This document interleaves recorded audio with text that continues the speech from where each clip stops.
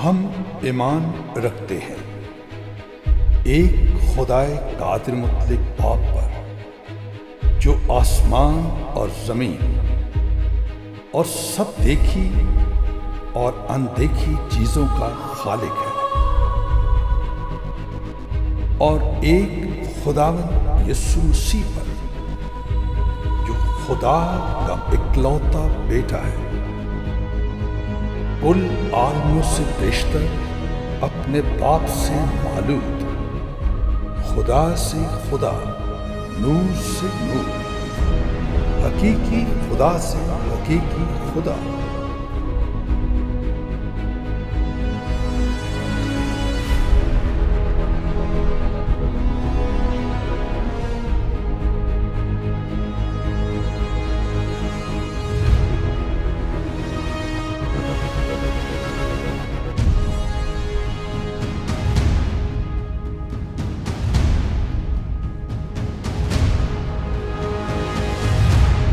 यीशु मसीह की पैदाइश इस तरह हुई।